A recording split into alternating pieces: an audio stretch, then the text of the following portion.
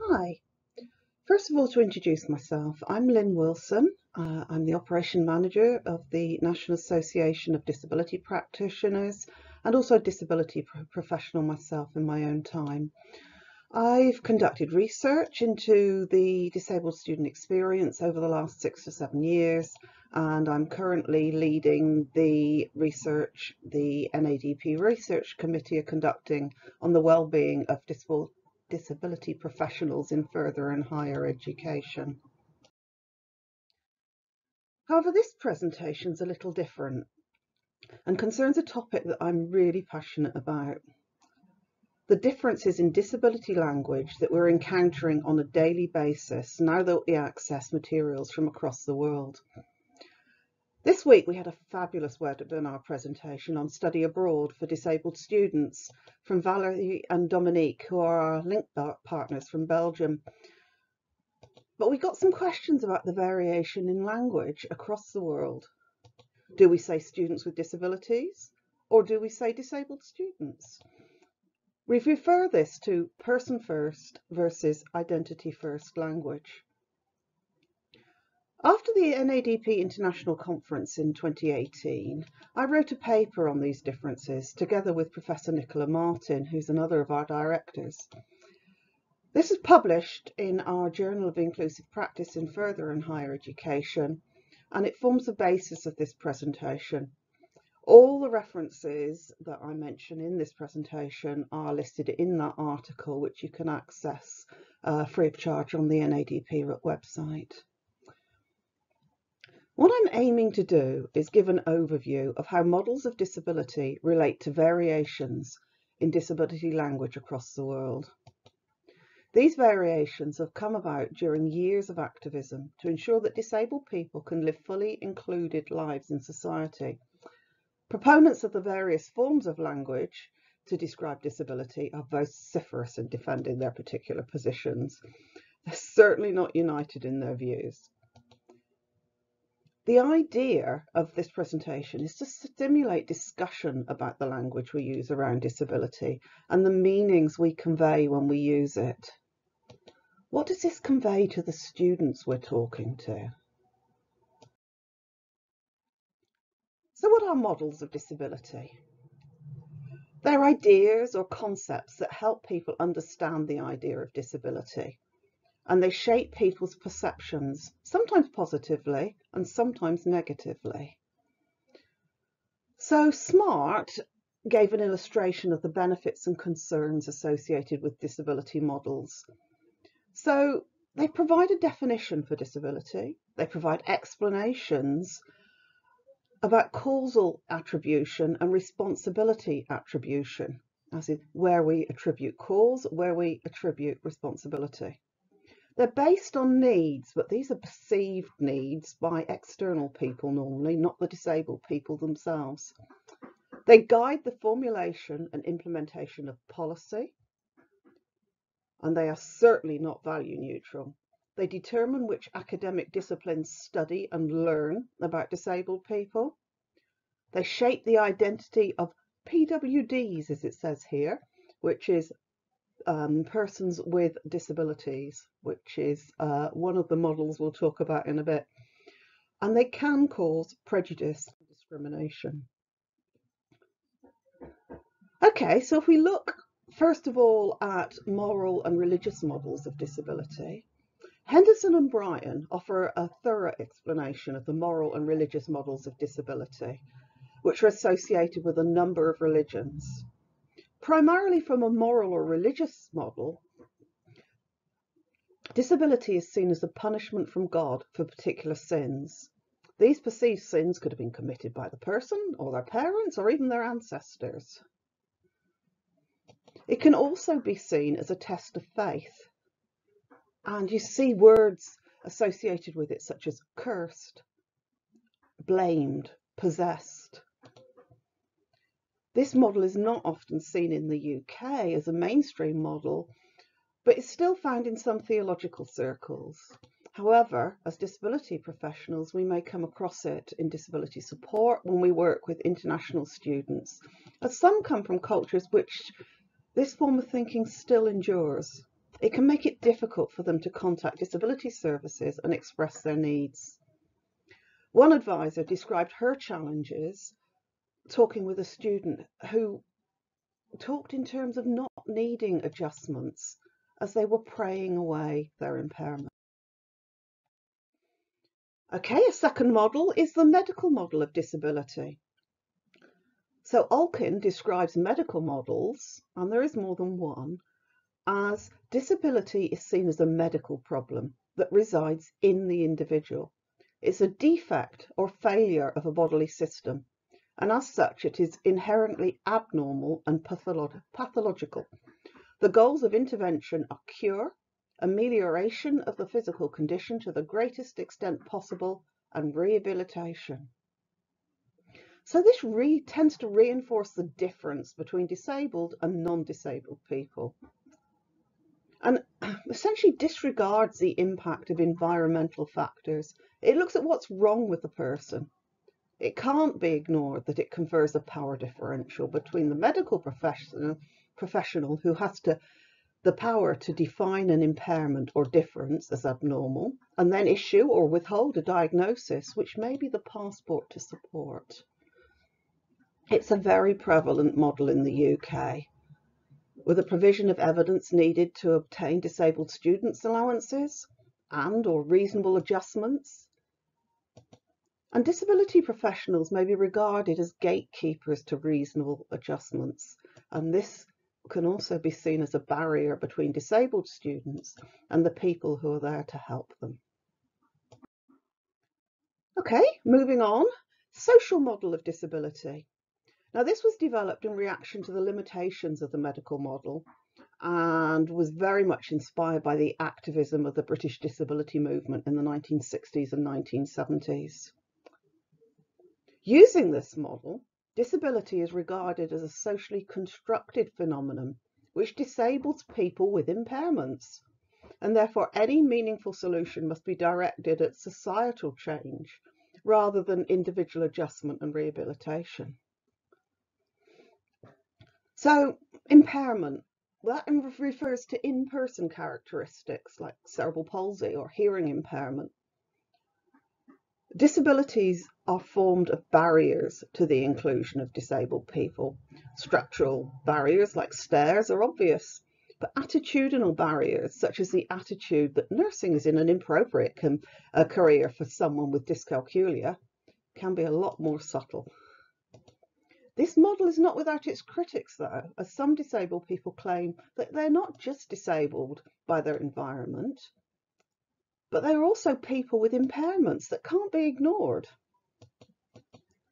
Many UK higher education institutions claim to operate under a social model banner, although the insistence on the production of medical evidence to access reasonable adjustments suggests aspects of the medical model approach are still there. And the fourth model I'll talk about, although there are many others if you go into the, the literature on it, is the affirmative or identity model of disability. The term affirmative emphasises ordinariness and rejects impairment as tragedy. It's been accredited with inspiring disabled people to adopt a positive self-image that celebrates disability pride. It's closely related to the social model they both share the understanding that the experience of disability is socially constructed, but the affirmative model incorporates a sensitivity to individual experience, which can include intersectionality as well. Many of us find our undergraduate students are learning about their own identities as they become more independent.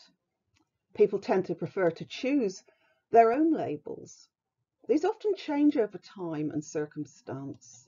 A disability practitioner shared the example of a student who variously described herself as a deaf student, someone who's deaf, a hearing impaired student, or a student with a small hearing problem, depending on circumstances.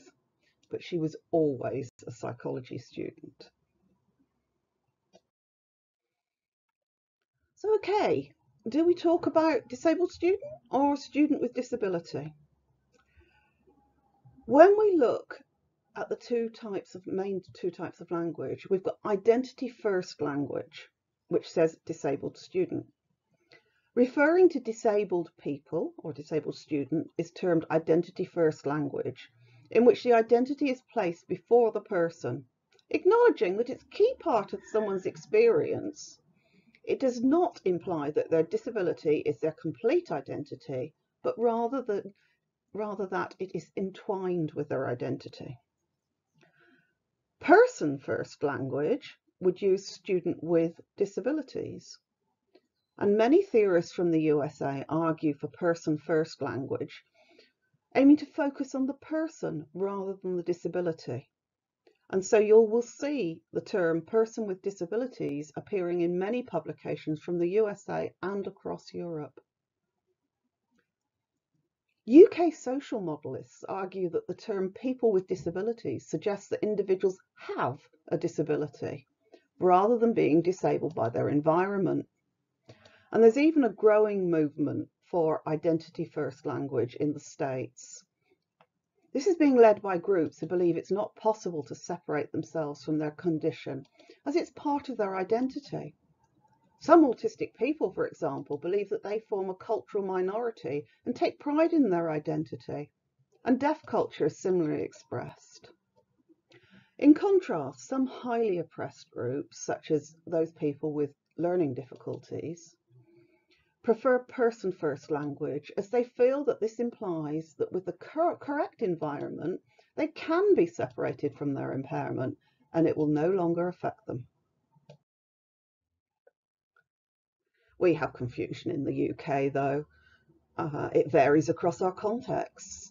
In universities, we refer to disabled students. In schools, children are have, described as having special educational needs and disabilities, SEND. And colleges vary between the two terms depending on what you're studying with them. As disability advisors, we are well aware of students' confusion as they navigate the move between school and university terminology. And this is a concern. But is it a wider concern? Nicky Martin in 2008 cited the example of a Russell Group undergraduate with five A levels, all at grade A, saying, I used to be a special needs child in the context of a DSA needs assessment. He further demonstrated low self-esteem during the in interaction and reported not having been particularly encouraged towards university. This othering language can have a lasting effect on disabled students and has been shown to precipitate social exclusion and lower self-perception. Disabled people are progressively rejecting the imposed identity of other, with many neurodiverse people arguing that their differences are not an impairment, but part of the normal human diversity. Okay, so what can we do as disability and inclusivity professionals? As you look at the material published by your institution or company, keep reading it with a critical eye. Don't just accept what it says. Not all universities are using the right language, for instance. A lot of them are influenced by different cultures and swap between languages all over the place. Look for medical model language. Look for othering and challenge it when you find it. Ableism, racism, sexism and classism all promote stereotypes which are manifested in negative attitudes that lead to prejudice. The continuing use of medical model language perpetrates these negative stereotypes. Disabled students may well have heard these detrimental ideas throughout their lives from diagnosis to special education. Internalized oppression can be the result and can directly affect the way they perceive themselves. Disability professionals in their various roles have an important part to play in encouraging students to see the positive aspects of their identity as disabled or neurodiverse individuals. Much of this can be achieved with the use of positive language. Disability professionals working individually with disabled students can assist students to challenge these ideas and labels by indicating the positive aspects of their identity. the terminology specific learning differences may be much more palatable to some than specific learning difficulties or specific learning disabilities. Language matters and it's important to understand the perspective of the student. The language we use to refer to impairment, neurodiversity, medical conditions and disability all has its roots in the idea of models of disability. These have changed over time and context and continue to evolve. Something that's affecting me at the moment is reading about neurodiversity. But it was pointed out to me that we're all neurodiverse.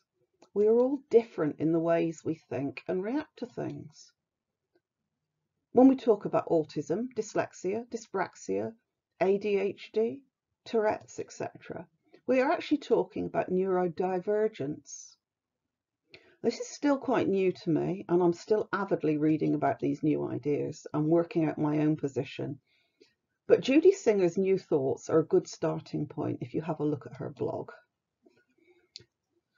Judy is the Australian psychologist who is generally considered to have derived the concept of neurodiversity. So our ideas are still evolving and changing. What does this mean for the students we support? Well, my key takeaway from all the research I did for this paper still concludes that we need a student-centred approach. No surprises there then. Nikki and I recommended in the article that disability diversity and inclusivity professionals are guided by the individual preferences of our disabled students. It's also important to recognise that just as we change our ideas over time, so do our students. They are at a point in their lives where they're learning at a rapid rate, and that affects not only their academic courses, but also their ideas about themselves as they grow into independence. We need to adapt our language to reflect their preferences for terminology, which may change dramatically over the years that we know them. And finally, keep thinking, keep reading, keep refining your own point of view and keep challenging. Thank you for listening.